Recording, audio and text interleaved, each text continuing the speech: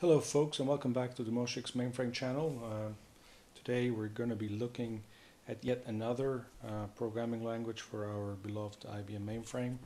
Um, as you know uh, we've had this mini series um, on uh, uh, ancient or even not so ancient but um, it's definitely mainframe programming languages. We had one on PL1 where we just very superficially explored uh, what PL1 is and how it looks.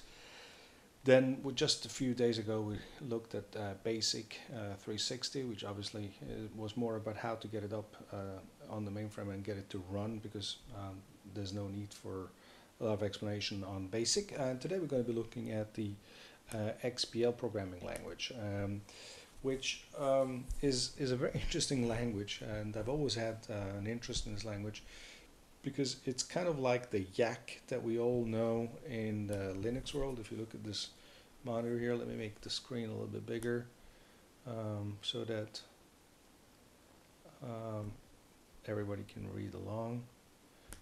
Uh, profiles, edit, and custom font. Uh, 15 I think is good. Okay, so um, you may know this um, tool here from the Linux or from the Unix world. Um, we don't have it actually installed, um, but uh, we could easily install. Yacc is, is a compiler generator, basically a parser generator. And um, XPL is a similar thing, but goes further. Um, first of all, XPL uh, is an old language. It was uh, comes from the um, 60s, late 60s. Oh, actually, here it is from the mid from 1968, um, and um, and I think it was originally written by the uh, computer science department at the University of Toronto in Canada. Um, it has similar um, syntax like PL1. It actually derives from PL1. Um, and uh, it is a compiler generator. Now, uh, the, one of the good things about XPL is that XPL itself is easy to bootstrap. What does it mean? Bootstrapping a programming language means um, getting a programming language as, as, far as so that the compiler can compile itself because it's written in its own language. Um, so, for instance, uh, you know, what, if you if you look at the video we saw uh, created last uh, just a few days ago on Basic 360, that is not a bootstrap compiler because it is written in PL1 and compiles a, into a basic interpreter and compiler, but it, that interpreter is not able to interpret to to compile itself. Um, whereas XPL was from the ground up developed so that it could it could compile itself. PL1, by the way, also compiles itself, even though the PL1 compiler that we use on TK4 on our MVS 3.8 is actually written in assembler, but PL1 by definition is able to compile itself, and there are compilers that compile it themselves in PL1.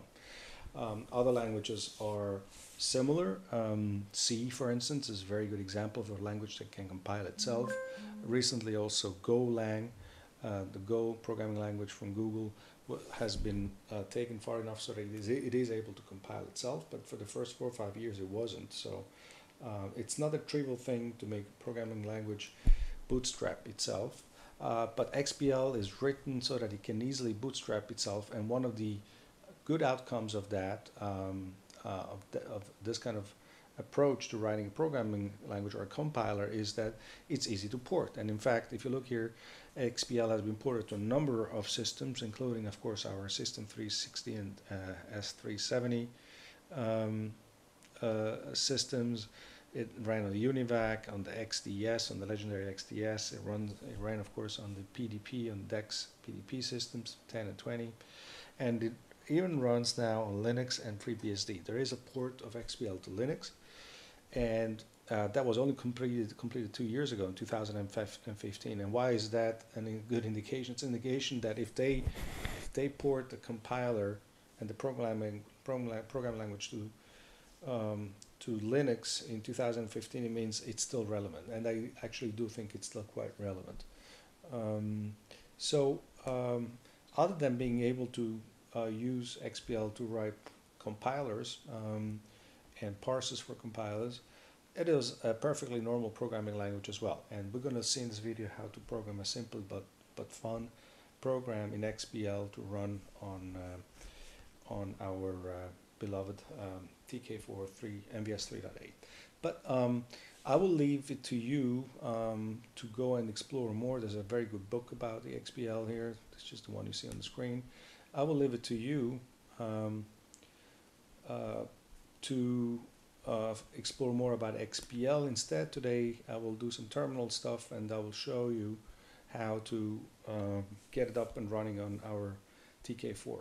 Before we get there, I just want to say below this video is going to be a link uh, to the yet another GitHub um, repository created called Moshix XPL 360 where I have everything in there, the tape image with all the contents of the source of XPL um, and the JCL required to load it into our uh, mainframe.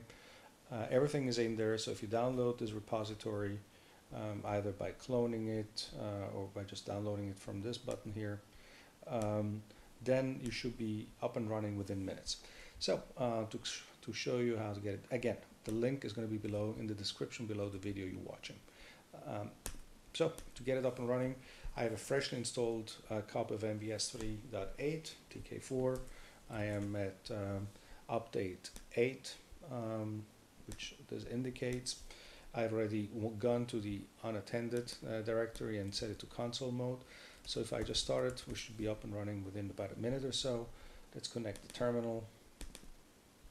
Alrighty, there we go.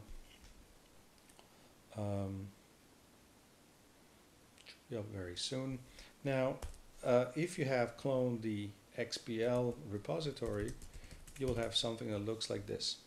So we have here a tape directory where the where the directory with the tape is containing the XPL source. Uh, by the way, XPL is open source software since always, since the 60s. Um, and then there's a JCL where we have uh, three JCL streams. One is the reload, one that loads uh, XPL from tape into our MVS system. Then we have a job that creates the procedure for, for invoking XPL um, in sys2.proclib. And then we have a simple uh, program uh, in XPL to show you how it works. So um, I would say we get, since this is probably, yeah, it's already up and running. Let's log in. Um, it's obviously nothing there. Yeah. So, um, okay. So, uh, the very first job we're going to run is this one. Reload. Let's look at what's in reload. Um, obviously, I appended already Herc1 uh, with the standard password of TK4. If you've changed your password, you may you need to change the second line here of this job. Very important. Um, I made it a class H, so it goes into the JES2 spool, so we can uh, look at it with the JES2 spool viewer. And I made it um, so that it goes into uh, a high-level qualifier qualifier called SYSC for compilers, uh, because I want to install my compilers under that kind of high-level qualifier. And I'm going to put it into pub001. By the way, um, XPL was written explicitly for the 2311 uh, discs uh, from the mid 60s. So the blocking factor is so that there's one block per track on those discs. And as discs got bigger and bigger, um, the efficiency of XPL on bigger discs goes down drastically. And um, Jay Moseley, uh, in his infinite wisdom, has, ch has changed the source code of XPL so that it works with a um, record length of 7,200 bytes. Uh, and that's as big as we can uh, get it to work. It needs to be in a 3350 volume. Um, and anything beyond that uh, just just does not work for XPL. It, it will not compile itself. So uh, this is one example where people were a little short-sighted when they developed it. They thought, you know, that um, disks wouldn't grow as fast as they did, and in fact, disk sizes have grown miraculously, such just as the same as processor speeds and, and RAM sizes. Um, and but it still works fine. Um, so this this uh, job stream should work out of the box without any issues. Um, Uh, the only thing you have to make sure is that you have the user ID and password matching your system. So let's get it through the card reader, dev init, and 00C is the card reader, um, Moshix XPL, JCL, reload. Um, oh, well, first of all, we need to attach a disk. Sorry about this, gentlemen and ladies and gentlemen. Uh, let's attach attach 480 on the tape on the tape drive 480. We'll type uh, we'll mount this tape called Moshix uh, XPL tape. Okay. Uh, well, let's dev init then. Dev init. Okay, so the disk is now mounted on the device, and now what we're going to do is uh, put this reload job through the jo uh, through the card reader. So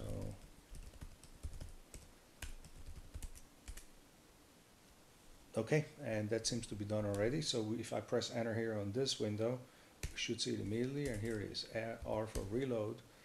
Yep, and he went through with error codes zero on all steps. Um, the outcome of this should be now that we have uh, sysc as high-level qualifier for several data sets, which is a load data set. Uh, this is already pre-compiled. Object and the source. Uh, this is the compiler itself. By the way, um, XPL is a dynamic memory allocated uh, system, meaning that strings are uh, do not need to be defined. They can be um, there can be dynamic length. As a result of that, you there is actually a monitor running, uh, calling like a, an online library for the XPL language, which is called XMON, which is what this is here. And this does some garbage collection, dynamic garbage collection, so that uh, RAM can be regained when when memory is no longer needed. Um, so this will be one of the very first cases of garbage collected languages. Um, the you know the was well the best known one uh, of, of, of, of which would be Java today. Java obviously uh, does gar garbage collection in the background because it's running as a virtual machine in, in the JVM uh, system. Uh, there's several others, but XPL will be one of the first ones, if not the first one I am aware of that is a garbage collected language. So um, the source is all here. Um, let's see what else. Yeah, this explains the grammar. This is BNF notation, Backus-Naur form, um, for those people interested in compiler design. So it's all here. Um, and that seems to have done well. So now we need to load one more job, which is the uh, the one that creates the process. Um, and just let's look at it for a second. What this what this job does. Uh, so again, you may need to change your your user and password. Uh, very make sure because you may not be able to run this through the card reader otherwise. So here um, we copy stuff over to 62 proclib um, and then we um, compile um, a program yeah basically it's compiling its own library. And then we have the various uh, procedure steps uh, so this is just compile this is compile and execute. Um, and let's see what else we have. Um, just uh, execute the previously compiled uh, XPL program and then syntax analysis. So uh, this is a very simple job step let's make, make smaller again. And let's just run it. And let's go back and see oops. Yeah s that's us and uh, return code zero. So this seems to have gone well. Um, now what we're going to do is as a further step now we're going to run a sample program in XPL for that purpose I'm going to upload um, through using the file transfer um,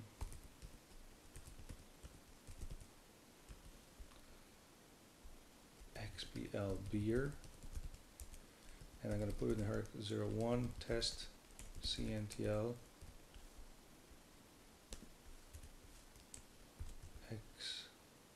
XPL beer. Send it to host. This is TSO. Transfer. Yeah. So we should have it now in our HERC01 test CNTL. Yeah, there it is. Uh, one thing that I see here, just like with PL1, something that I should have mentioned when we looked at PL1 a couple of weeks ago, is that the first column cannot be used in any um, PL1 program, and so XPL being in the center of PL1 is the same thing. So now I see here that this program actually starts in the first column. That's probably because it was copied through a, a PC. So very simple, we move this all by one, all the way to the bottom. Okay, so this was all moved. And let's just see if we can execute this and get some um, sensitive output out of this. This is a program written by Jay Moseley in September 2008, so that will be nine years ago. It's the 99 Beers program, well known uh, program that just does the lyrics for the for the for the song 99 Beer Bottles. So, uh, so um, let's execute this. And let's go look at the spool. Yeah, return code 0 for the compile and for the go. And now we can look at the output. So here's the compilation, uh, the XPL compiler here. Um, that's doing its job. And here is the output. 99 bottles of beer on the wall, 99 bottles of beer. Take one down, pass it around, 90 bills of beer on the wall, 90 bills on the wall. And that's the, uh, the well-known beer algorithm or pro program.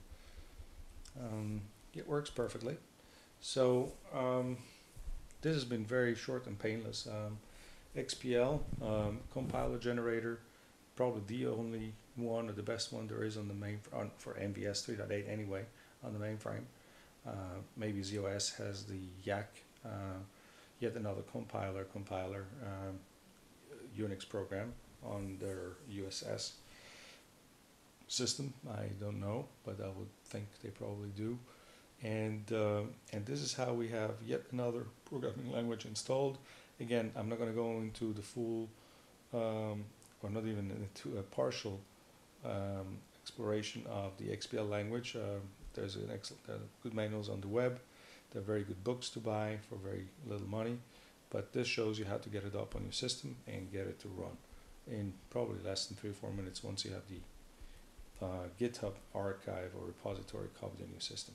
So this is it for today. Um, please subscribe to my channel to see future videos. If you like this particular video, press on the thumbs up button and uh, hope to see you soon for future videos on the Moshix mainframe channel. Thank you, goodbye.